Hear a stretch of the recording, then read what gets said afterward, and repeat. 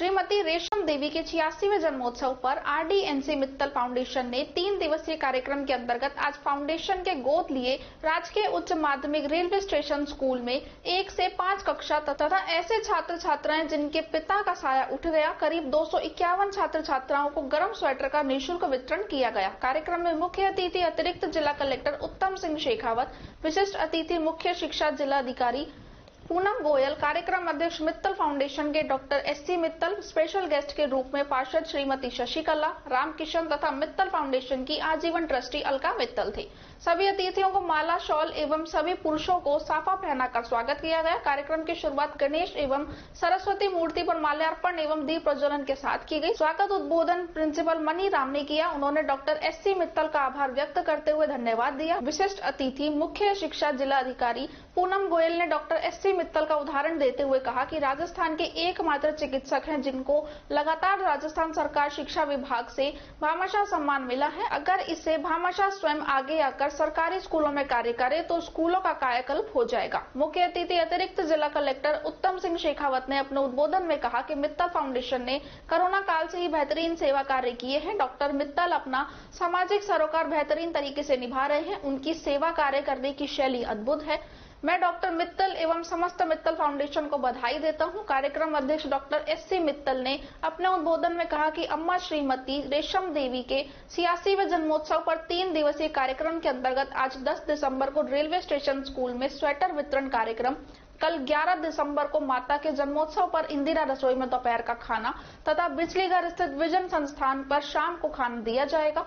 12 दिसंबर को खुदनपुरी स्कूल में भी तकरीबन 200 बच्चों को स्वेटर वितरण किए जाएँगे। मित्तल फाउंडेशन की आजीवन ट्रस्टी अलका मित्तल ने अपने संक्षिप्त उद्बोधन में कार्यक्रम आयोजित करवाने के लिए स्कूल प्रिंसिपल एवं समस्त स्टाफ को धन्यवाद देते हुए कहा कि इस स्कूल में हर संभव कार्य आगे भी हम करते रहेंगे। कार्यक्रम में पार्षद शशिकला, रामकिशन ने भी अपने उद्बोधन में डॉक्टर मित्तल एवं उनकी सेवाओं की बढ़ाई की।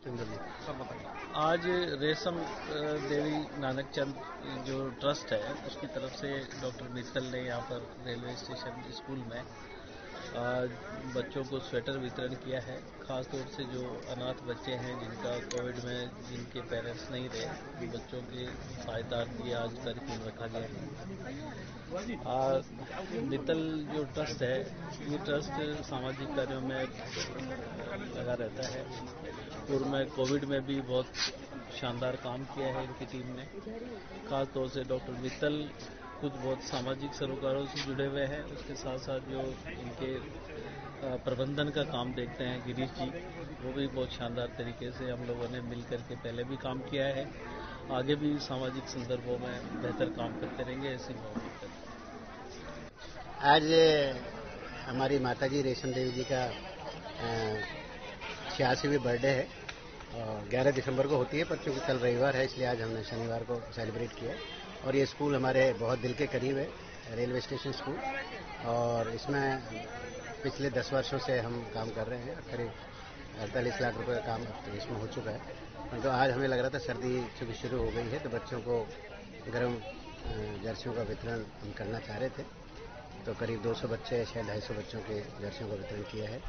और कल हम इंदिरा रसोई में भोजन की व्यवस्था करा रहे हैं, शाम को बिजली संस्थान में करा रहे हैं और परसों खुदनपुर स्कूल में भी दो सौ से अधिक बच्चों को जर्सी वितरण का कार्यक्रम किया जाएगा। ये तीन दिवस का कार्यक्रम है और इसमें आज हमारे बीच में एडीएम साहब पधारे हैं प्रथम, उत्तम सिंह शेखावत साहब और डीओ मैडम है पूनम गोयल जी, यहाँ के पार्षद हैं शशिकला जी और हमारे गिरीश जी, अलका जी और सब यहाँ के टीचर्स और प्रिंसिपल साहब, मणिराम जी। सबने बहुत सहयोग दिया है और बच्चे यहाँ पे बहुत प्रोग्रेस कर रहे हैं, अभी प्रतियोगिता में भाग ले रहे हैं, खेलों में भाग ले रहे हैं और बहुत चहुमुखी विकास इस स्कूल का हो रहा है। पटरी पार का इलाका है और इस स्कूल को जो पहले रिकॉग्निशन नहीं था, बहुत बड़ा रिकॉग्निशन मिल रहा है। तो हमें खुशी है हमारे फाउंडेशन को और हमारे सभी ट्रस्टियों को खुशी है कि यदि हम शिक्षा के क्षेत्र में काम करें तो बहुत उन्नति हो सकती है। स्कूल का नामांकन बढ़ सकता है, स्कूल के क्वालिटी ऑफ़ एजुकेशन बढ़ सकती है। जो सरकार का मिशन है हॉलिस्टिक एजुकेशन जिसमें शिक्षा भी हो, खेल भी हो जनरल नॉलेज भी हो, वो सब चीज़ें हम एक साथ लेकर चल सकते हैं। तो मैं तो सभी भामाशाहों से निवेदन करूँगा कि शिक्षा के क्षेत्र में जितना अधिक से अधिक काम करें और ईश्वर जितना आप देंगे, उससे अधिक आपको मिलेगा। मैं तो अपना आपको यही समझता हूँ कि जो कुछ दे रहा हूँ, मुझे मुझे लगता है इसलिए मिल रहा है कि मैं दे रहा हूँ। तो सभी से मैं निवेदन करूँगा कि ऐसे क्षेत्र में आगे आए और सभी हमारे बच्चों को भविष्य का ध्यान रखें। आज ये रेशम देवी नानकचंद फाउंडेशन की तरफ़ से डॉक्टर मित्तल और अलका मित्तल ने यहाँ पहली से पांचवी तक और जिनके पेरेंट्स नहीं हैं उनको स्वेटर वितरण का कार्य किया है। डॉक्टर मित्तल हर साल इस तरह के कार्यक्रम करते हैं और ये कई बार राज्य स्तर पर भामाशाह सम्मान से सम्मानित हो चुके हैं और गिरीश जी भी राज्य स्तर पर भी और जिला स्तर पर भी प्रेरक प्रेरक सम्मान से सम्मानित हो चुके हैं। राज्य स्तर पर जो भामाशाह सम्मान दिया जाता है, वो पंद्रह लाख से अधिक योगदान पर मिलता है और प्रेरक सम्मान 30 लाख से अधिक योगदान पर मिलता है। तो मुझे बहुत खुशी है कि इस तरह के भामाशाह और प्रेरक इस स्कूल से जुड़े हुए हैं और इन्होंने कई काम किए